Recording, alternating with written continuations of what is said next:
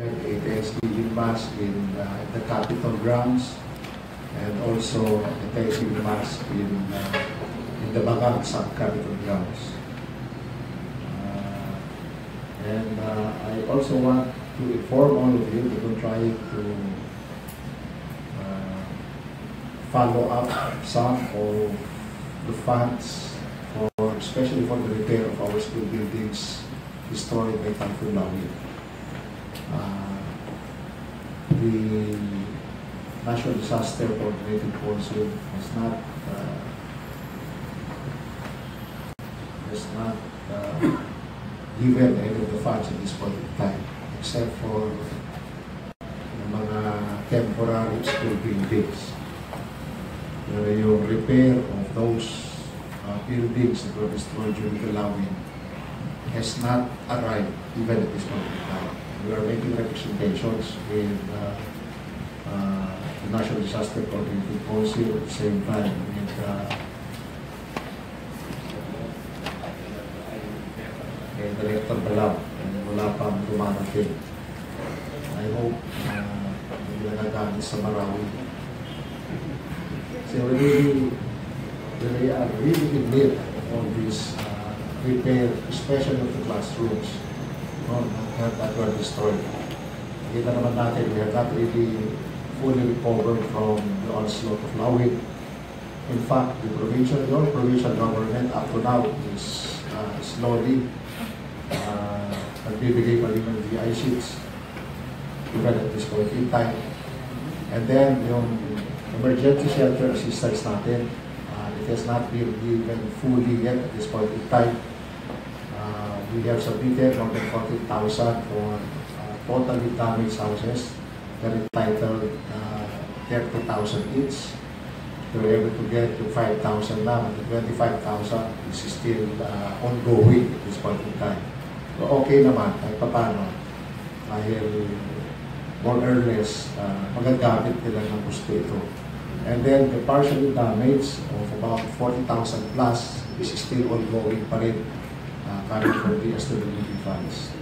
I would also like to inform all of you that we also purchased, took us a while to purchase uh, carpentry tools for 29,000 pesos, uh, 29 million to be given to all Puruks in the province.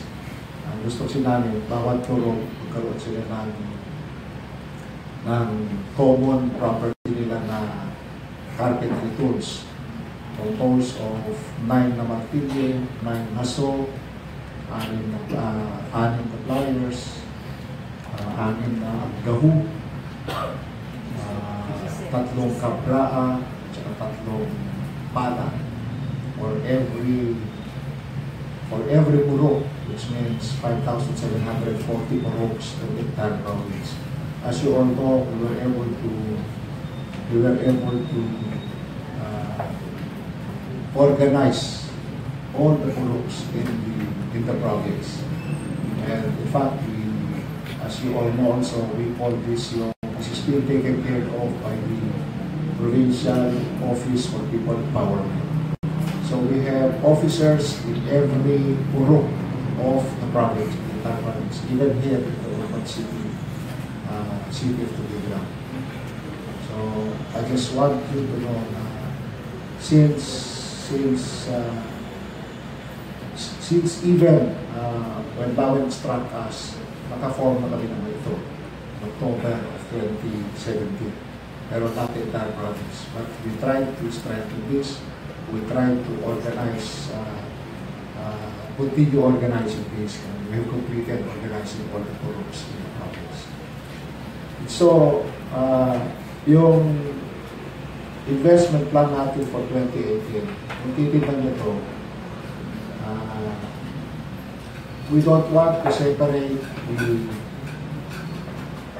Puruk organizations that we have uh, that we have uh, organized in all the Puruks because I feel that this is the best way to empower them and this is also the best way to capacitate them. And so, kung titignan nyo yung yung investment plan natin, this is more on enhancement of the Puruk organization. If I also want you to know na meron tayong quick response team na anim in the entire province. Kung nakikita nyo yung mga ambulansya on 24-7 and the people man of these six ito provinces. We have one in the Capitolio, ito. We have one in Idik. We have one in Tuaw. We have one in Sanchez Mira. We have one in Tanto, in Bangam. And one also in Gonzaga. So 24-7 ito, manned by seven people, including, including mga paramedics, and meron din silang communication, meron din silang ambulansya and uh, mobility. And uh, kung titignan nyo na naman itong uh, investment plan natin for 2018, uh, we're trying to re, uh, pre-deploy all our resources in these areas already. In fact, uh, aside from the capital, grounds natin dito sa Aliman now, of course, yung sub-capital sa sa Dalmo, and then we have a property dito sa Antiray, and another property in Zitanga, uh, in Ballesteros, no, and then we are identifying two others na properties kasi ang plano namin dito is we will have pre-deployment already. Yung quick response team natin, yung, yung task force Bigfoot Cagayan natin, gagawa na rin namin ng buildings. No, parang police station na rin doon. Naka-station na rin na, na- natin doon ang mga tao natin 24-7, including ah, yung mga rescue equipments natin, rescue people natin, on a 24-7 basis. So this, uh, kung makikita nyo, ang Kiray is about 3.7 or 3.7 hectares na nandun. Ang plano namin doon to place the QRT there and develop the place also as a farm tourism and farm school. So we're partnering with TESDA and tourism so that we could develop into a farm tourism, farm school, and uh, of course, the quick response team the building that we will have there at. We will also have one in Zitanga. Nakatiwang-wang lang dati yun. So, lahat ng lahat yung ng livestock namin nilalagay namin doon. Hopefully, we will have a provincial zoo in the future. But we're trying to we're trying to develop that into a QRT, Quick Response Team, PFLC, Task Force Team, Cagayan, area 24-7 din. Kasi ang, ang imagination namin sa Task Force Likod Cagayan, hindi lang yung building itself. No, in, in the long run, becomes a 24-7 24/7 na area, pwede rest area, pwede may gasoline station, may pansitan, on 24-7. But our assets, especially on rescue and relief, nandun rin sila. We will also have one in Bangag, in in the sub-capital. As you all know, nung dinagdan natin sub-capital sarado for the last 10 years, we opened it up. It's now 24-7 and we have uh, people there at every day. Every day, puopisina na kami doon. Because ultimately, I just want you to know na ang plano ng administration is to put the main capital in Lando and convert, and convert the main capital here into a sub-capital. Because I feel that Tugigraw itself is already a regional center. Now coming up with a provincial center in Lando, in Bangang, which is much nearer, it's a center of Cagayan. As you all know, historically, the city of Nueva Segovia has always been the center of the province. I think this is one way of righting the wrongs in the past. Kasi yung Kapitolyo natin, sa tingin ko kasi, mas malapit pa sa Isabela kasi Toledo itself. But that doesn't mean that the offices and the services of our provincial capital here ay makokollapse. No. We'll still be there, but we will have more dun sa Kapitolyo dun sa mga And we have funds for that already. Meron kaming prepare for the 2018, 2017, and 2018 budget na 95 million for our for our building, and another 50 million for the improvement of grounds. I also want you to know na nagbi-build na rin tayo doon, ibigay sa atin na evacuation center worth 36 million. Nag-i-start na, ginagawa na doon. Uh, we were also able to get uh, 15 million na POSTA from uh, senior citizens. We're also constructing a farmer's school in the area. And then we are also giving one hectare of that area to become the provincial museum, uh, regional museum by the National Museum. Uh, They're coming, they're coming up with a regional museum. So ang plano nila, bigyan ko sila ng one hectare, yun yung ilalagay natin. And hopefully, and hopefully, uh, yung QRT na rin natin doon becomes a farm tourism, a farm school, at the same time, the quick response uh, uh, building na doon na rin, and the quick response team also din. Same is true yung kapitolyo natin dito. Nagawa rin kami ng quick response team dito. Nandyan na nga, the quick response building. Nandyan na lang para 24-7 dito. Para kahit na paano, naka-pre-deploy na rin lahat yung mga assets na. So, this is basically what we're doing for the province. And this is yung, a, yung, yung investment plan natin sa 2018 is geared towards this. Uh, coming up with six QRT building with response. Kung tinignan kasi, yung ginagawa ng police na station nila is worth 5 million. So, so nakikita ko yung 5 million na QRT building is really enough na makapag-man tayo on the 24-7 sa lahat ng mga 6 na areas natin. Siguro sabihin niyo sa akin na why is the provincial government doing all of these things?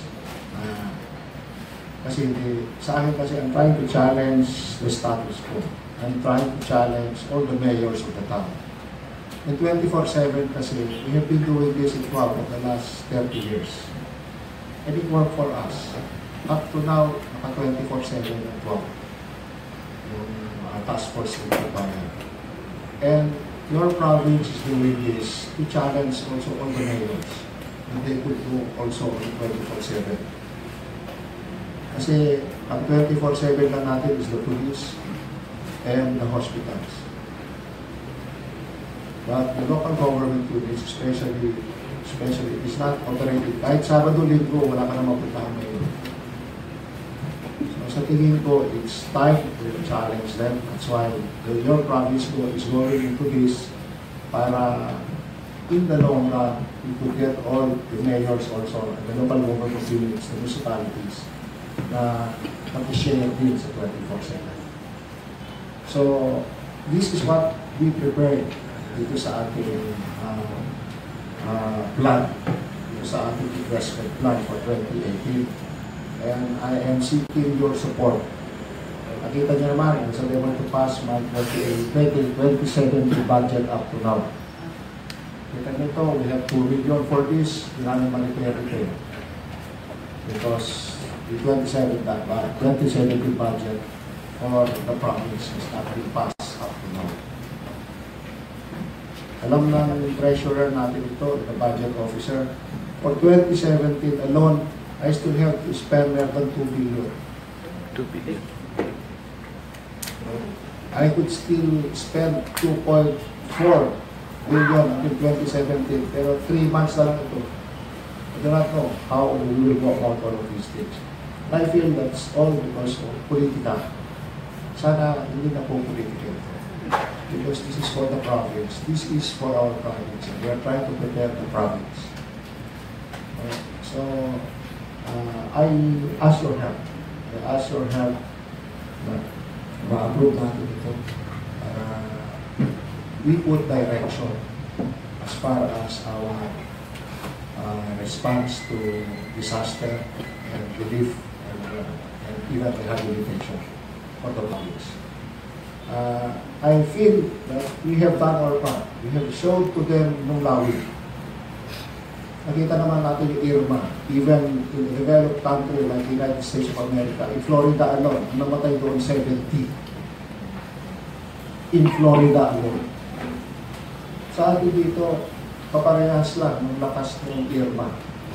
In mas malakas at mas yung akin pa dito. And yet, kahit pa paano, apat, lima lang yung namatay sa akin. We have proven to them that we could handle disasters. We have proven to them that we could all work together for a common purpose. I do not know why this is happening to our province. Sabi ko nga, I, I even went to the point of saying na hindi na ako magre-re-elect kung takot tayo sa akin. But let us pass the budget. This is for our province. But anyway, we cannot pass the budget. We, uh, we are now we are now preparing the 2018 budget. We will have a proposed budget of about 3.5 billion for 2018. All because hindi pinapas yung budget. It's supposed to be supplemental budget ng 1.2 billion. Lalagay na naman namin sa 2018. And I just want you to know also that as of July 31, July 31 of this year, we have a proposed budget of 2.4 billion dahil hindi nila in-approve. Ang nagagastos pa lang namin as of July 31 is 363 363 billion the 2.4 billion. Hindi ko nasasayang ang pera at my stewardship. I will tell you. I will tell you. Hindi ako tumatanggap ng SOP. Hindi ng 10%, 5%. Any contractor or any supplier for that matter. I challenge them kung may binigay sa akin kahit piso. I also challenge them kung may binigay sa akin ng wete kahit piso. I also challenge them kung may magbibigay sa akin kahit ano. I intend to reform this province. And I intend to start with the provincial government of your provincial government. Ang tingin ko kasi, hindi lilinis ang munisipyo, ang siyudad at ang barangay kung hindi lilinis ang probinsya. Kaya matuli ang probinsya natin dahil nag-umpisa magpadumi dito mga leaders ko. Of course, under the protection and tutelage of everything. You may say that I'm taking this very personal, but I have to, just to, just to tell everyone that this is the time. This is the time. So sabi ko to, to all the provincial heads, yung reforma nyo, gawin nyo na ngayon at nandito. Yung reforma gusto nyo, i-discuss it mo, gawin mo. Because no governor will give 500,000 per year sa mga barangay even in the entire country. No governor will give 3 million per year sa bawat tao, even in the entire country. I will tell you this straight. And these are the things that inilagay ko sa mga budget natin. Because I feel, I feel sa akin that we should make our partners doon sa baba. We, we should make them, capacitate them, empower them, make them more competent, make them more honest, but let us have, uh, let us have an eye over them. And that is us. Sana makita niyo to what, what, what we're trying to do for our province.